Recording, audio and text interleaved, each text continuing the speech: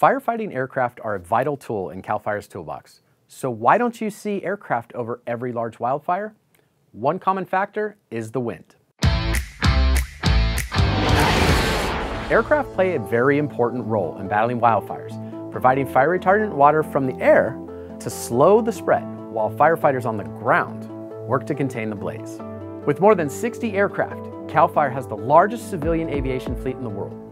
CAL FIRE's aircraft are strategically placed throughout the state to reach even the most remote areas of California within 20 minutes.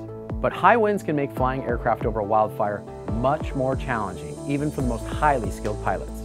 The turbulence created over a fire is already incredible, and when you couple that with life-threatening destructive wind events, it makes flying nearly impossible. In addition to the danger these winds pose to the air crews when winds are above 30 miles an hour, airdrops become very ineffective and the fire retardant in water ends up only a mist instead of a steady rain.